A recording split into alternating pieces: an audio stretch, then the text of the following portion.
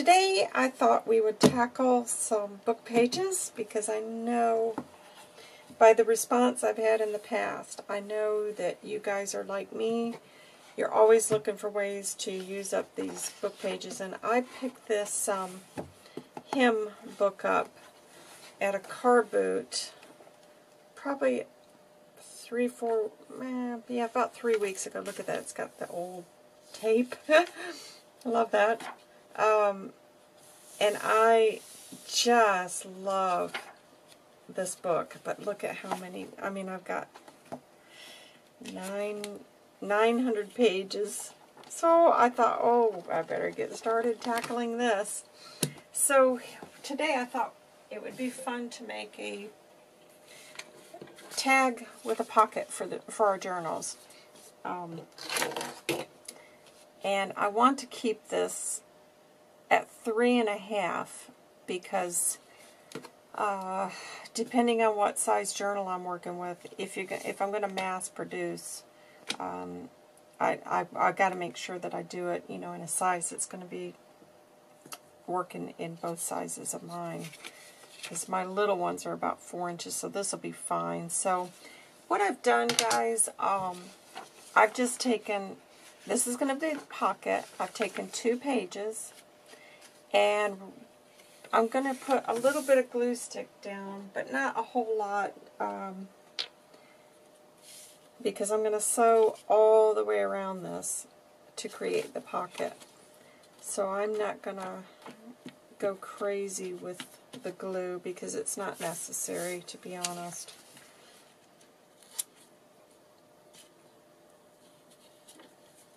So, just for the purposes of this,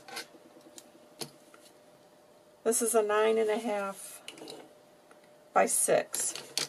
And like I said, I've, I've folded it so that it's going to end up a three and a half inch pocket. And I'm going to go ahead and cut out a half circle here so that when I go to the machine I can try to stitch this down.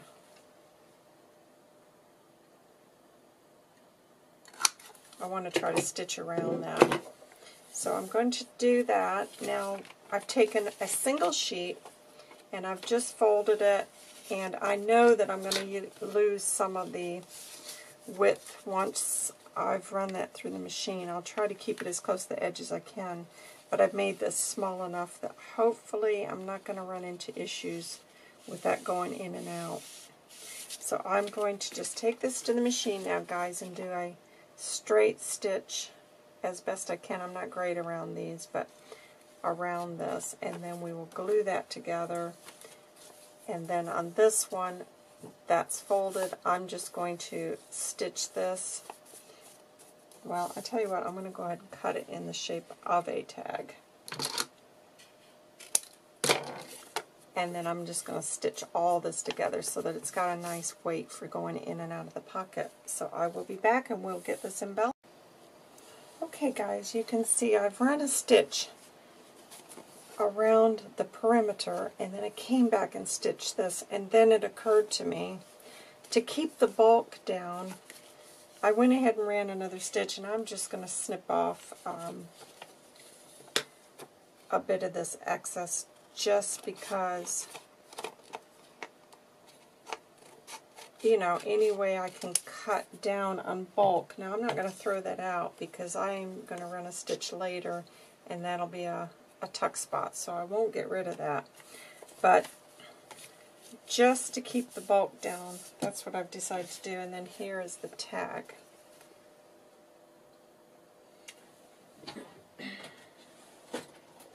So I'm going to go ahead and get a hole punched in this. And let me get some glue. Excuse me. Get some glue on this.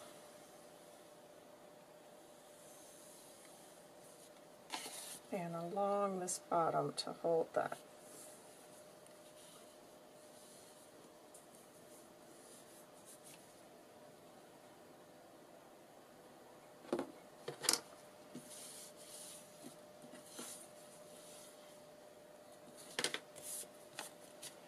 Okay.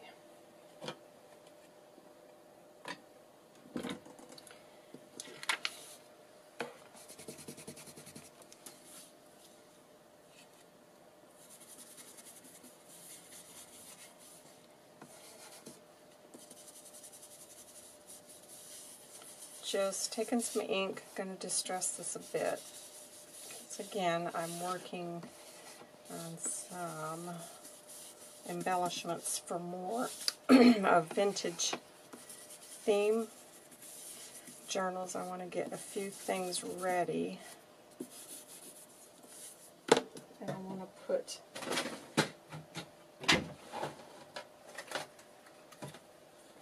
I'm just putting a little reinforcement label. And I've just taken these and I sometimes I just run my pad over them and then you can get a nice color. That's how I end up doing those.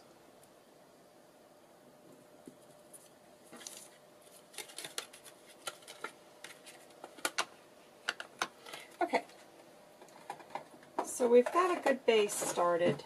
Now, I've printed out these little beautiful girls. Now, these are just off the internet. And uh, I just love those little girls. They're so sweet. It's been ages since I've used any pictures like this. I mean, I don't know. I guess I've been more into uh, botanicals the last couple of years, but um, when I first started, I, I did quite a lot of the vintage shabby, and I just got away from it um, for a while. You know how you do. You just kind of go through little periods of different things, but I just thought, I'm ready. I'm ready to get back to some fun, you know, just something different. I feel like I need a bit of a change. Here's just a doily. I don't know, it was ripped or something, so I've stuck it in my little scrappy folder. And I'm just going to, I'm not going to worry about this. Um, to, oh, actually, you know what? I'm not going to do it on the tag. I'm going to do it on this because I don't want anything bothering this tag. I want to be able to get that in and out easily. And isn't that going to be pretty? with that um, reinforcer there. I love that. So this is what I want to decorate. So I'm just going to start with a little bit of the the glue stick. Uh, like I said, I, I haven't planned this out. I'm just going with it because I'm getting terrible about overthinking things. And then I get frustrated and I don't get anything done. you know what I'm talking about. Um, just, again, pulling out scraps of stuff and just going to see if I can make it work. I know I don't want these straight edges, so those have got to go.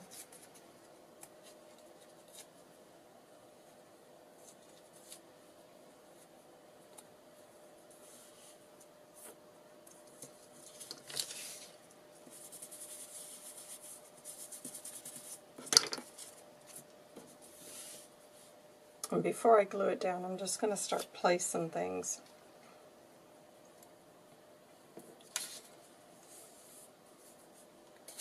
I like the idea of a little banner somehow incorporated in that. And then this, I think that would be pretty somehow on the back.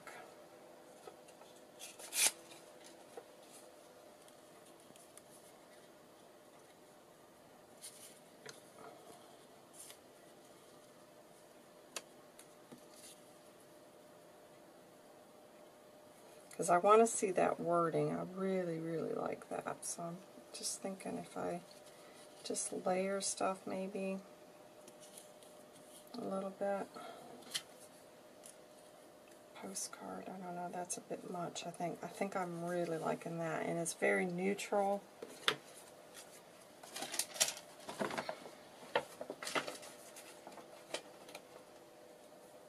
Okay, let me see, guys. Let me grab some laces now. because I'm inclined to keep this one with no color. And I didn't really have an idea when I set off, but I'm now thinking that I'm really, really liking, and I like that little bit there. Maybe down slightly with some lace. And then, let me see what I got here, guys.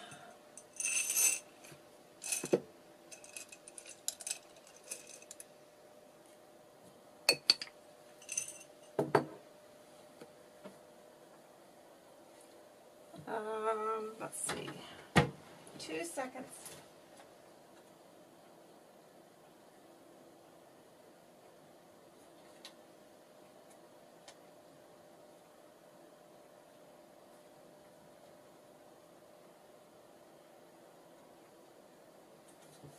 Let me pull this folder out. This is various bits I've got.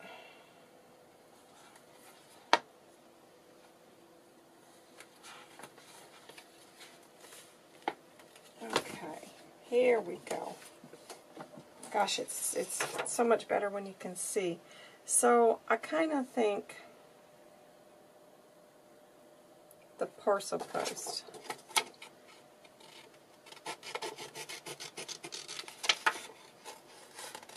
If I don't like it, I'll take it off, but just going to start with that one and see if that's, because I don't want anything that takes away from her. Isn't she just adorable?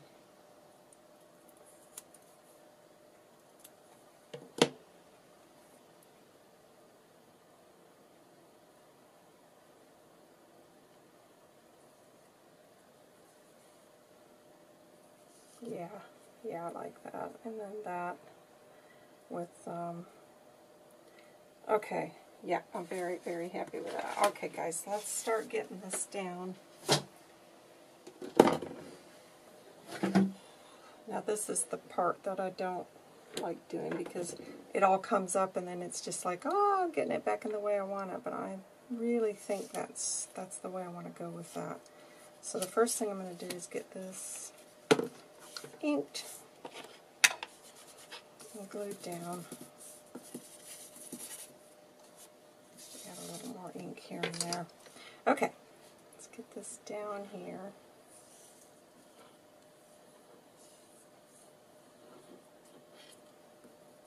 Don't want to get it too much. I always, always worry about making things too busy. I don't know, it's a it's a bit of a fear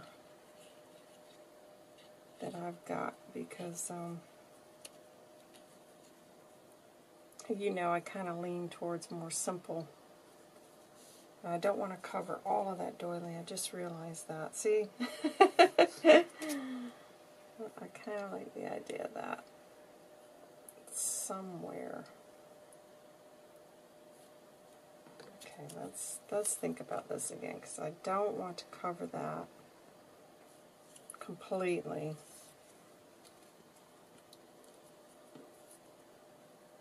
There we go. That's that's good. Okay, so now I've got to have some Fabri-Tac to get this lace. Isn't that beautiful? Let me show you that lace up close. That's some old, old lace. Love it, love it, love it. So my market is supposed to be coming back at the end of the month. And uh, I don't know quite what to expect about it because obviously there's still a lot, and I mean a lot of restrictions. So I don't know if it's going to be as good, but I'm certainly going to go and have a browse and just praying that um, that it will all be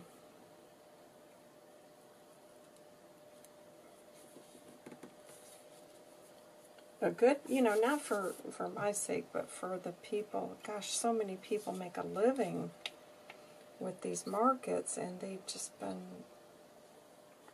And the other problem you've got is a lot of people, those are cash. businesses, and so they can't even claim help, you know, during, oh, it's just, yeah.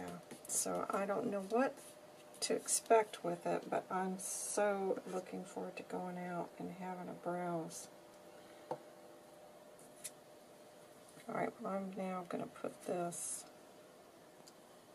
up here, I think, because that I'm going to put the button down on the bottom there. These little labels that I just showed, that was Artie Mays. She's got a kit with those. So see how that's looking now. I don't know, I feel like the button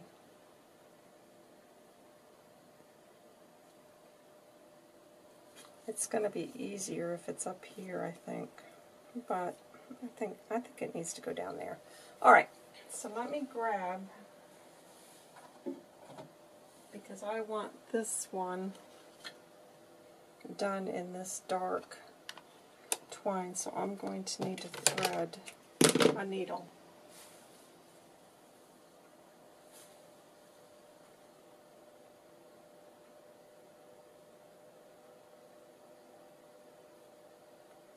Okie Dokie, let's try this.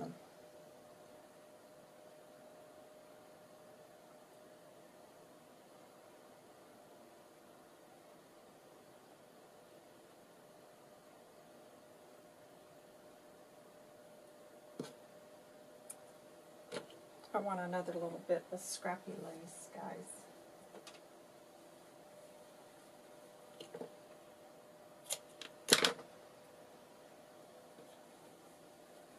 And I think the white is going to contrast that nice. So let me see if I can stitch this. I just thought this dark would be kind of pretty.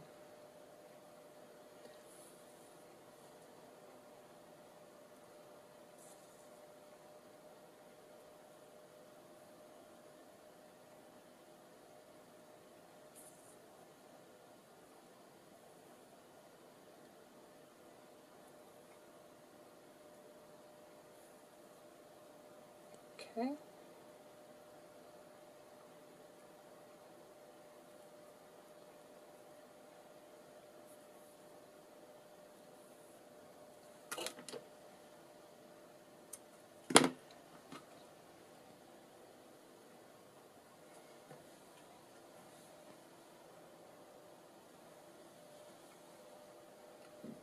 just a little bit of glue there.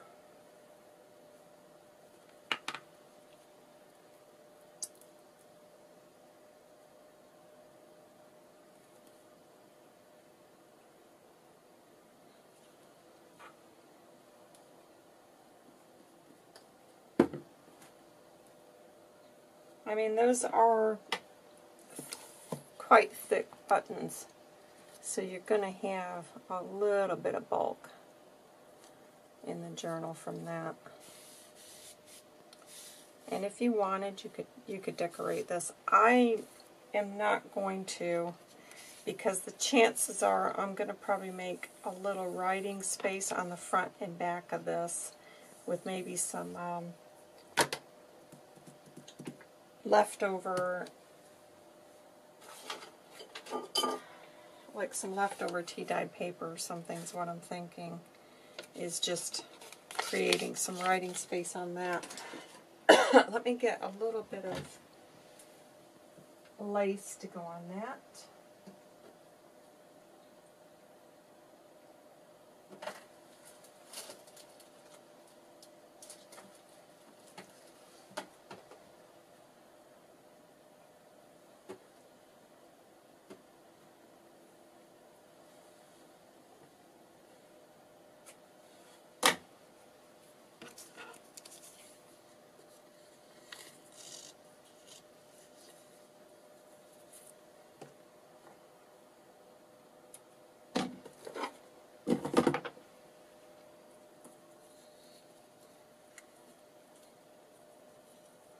So yeah, I'm going to try today to spend some time just stitching these. I won't embellish them, but I just want to have these stitched and ready. Um, and then you can, you know, they can just be embellished as and when I need them, and hopefully you'll do the same because um, it's not taking that much time. It's the, the time is in the embellishing, really. And then I can always, based on whatever project I'm working on, I can come back and either decorate the tag inside or add, like I said, the tea-dyed paper to create a writing space. But isn't that pretty? And so how that's going to look in a journal, you could glue that down on three sides and make a tuck spot or do this three and have another pocket there. So I love that. I think she's just precious. I hope you guys have enjoyed that, and uh, I will be back very